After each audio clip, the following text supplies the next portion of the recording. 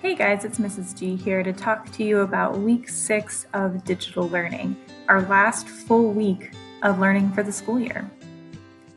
So, on Tuesday, the assignment that you guys are going to be completing is a podcast review form. Uh, so, a lot of you have already done this, but I'm going to show you kind of what this will look like. You'll open the form and it looks a little bit like this. You will um, pick something about a current event that you're interested in and listen to a podcast about it.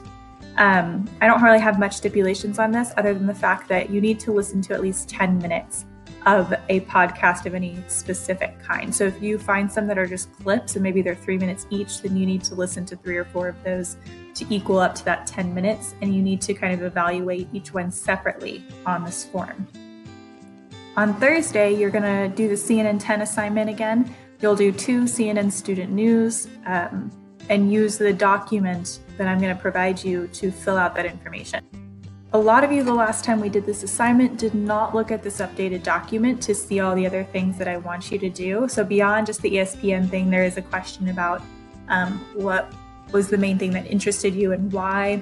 And then you also need to send me or put the link on here to which video you watched and what date it was published. So, please make sure that you use the actual template provided.